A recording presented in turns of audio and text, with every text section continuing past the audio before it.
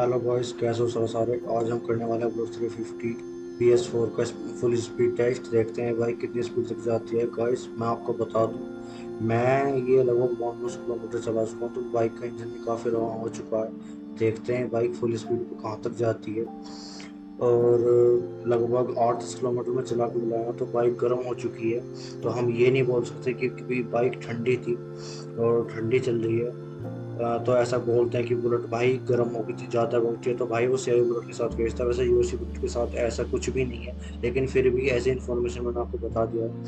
मैं और मैंने इसको फुल थ्रोटल दे रखा है और मैं पाँच एक मिनट इसको लगातार ऐसे चलाने वाला हूँ। देखते हैं इसकी फुल स्पीड क्या जाती है। जैसे कि हम देख पा रहे हैं 110 115 के बीच में लाई कर रही है। मैंने फुल थ्रोटल दे रखा है, इससे ऊपर ही नहीं जा पा रही है।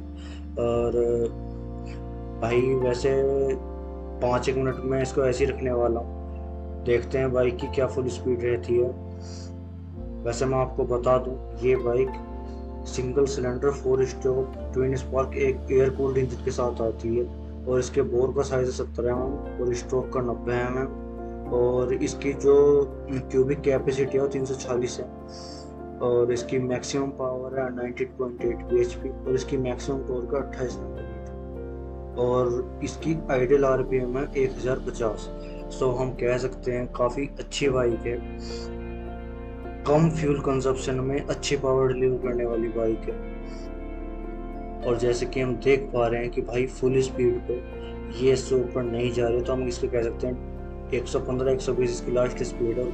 और मैं आपको बता दूँ, मैं इसको अकेला कर तो ये मतलब बाइक इससे ऊपर जाएगी नहीं।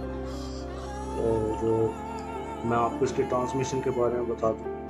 इसका ट्रांसमिशन जो इसका गियर बॉक्स है, वो constant plus five speed gear box है।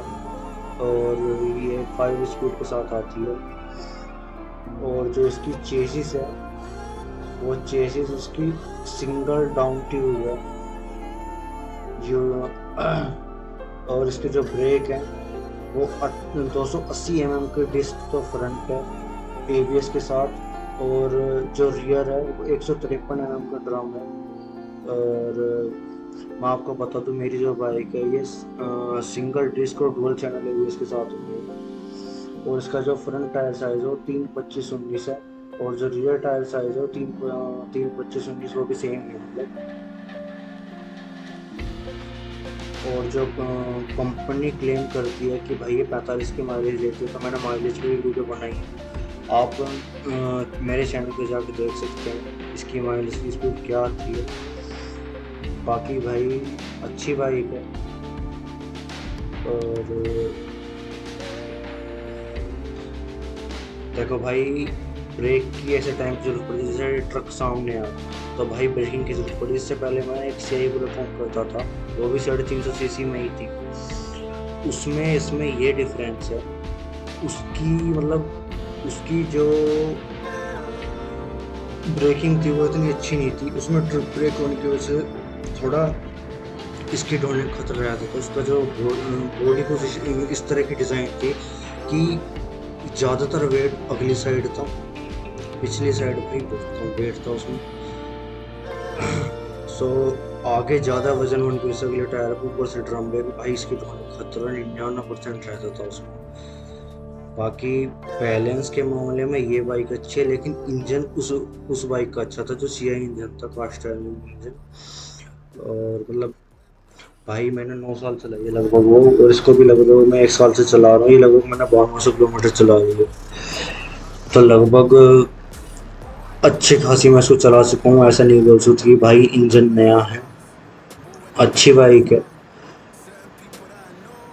और जैसे कि मतलब ऐसा बोलते हैं कि नॉर्म्स की वजह, नॉर्म्स की वजह से इसके जो है, जो एग्जॉस्ट है, उसमें फ़िल्टर लगा दिए हैं। तो भाई बी एस फोर बिल्कुल पटाखा मारती है बी एस सिक्स पटाखे नहीं मारती मैंने वो भी चलाई है और अगर मैं आपको इसके इंस्ट्रूमेंट लिस्टर के बारे में बताऊँ तो इसमें एक ओडोमीटर मिल जाता है और जहाँ पे सी आई बुलेट में एम्प मीटर आया करता था, उसकी जगह पे यहाँ पे फ्यूल इंडिकेटर और ए बी एस इंडिकेटर आ गया है। बाकी भाई ये भी नई क्लासिक लॉन्च हुई है क्लासिक 350 बहुत ही क्लासिक लुक है उसकी, और आप उसकी तरफ़ बिल्कुल जा सकते हैं, और भाई स्टैंडर्ड तो अपनी पुरानी है ही। क्योंकि स्टैंडर्ड का तो भाई नाम ही काफ़ी है। और सच बताऊँ तो जो रॉयल इनफील्ड को टिकाए हुए है, वो ये स्टैंडर्ड ही है। अच्छी बाइक है भाई। और अगर आपको वीडियो पसंद आए तो आप लाइक एंड शेयर करना ना भूलें। हमारे सपोर्ट के लिए सब्सक्राइब ज़रूर करें और ऐसी वीडियो वीडियो देखने के लिए घंटे के बटन को दबाकर चैनल को सब्सक्राइब करें। और भाई, वीडियो जैसी भी लगे मुझे कमेंट बॉक्स में ज़रूर बताएँ। मैं आपके सारे कमेंट की रिप्लाई करूँगा। और मुझे सुझाव दें, मैं अच्छी कैसे कर सकता हूँ, वीडियो में क्या कमी रही। वीडियो देखने के लिए धन्यवाद। Thank you so much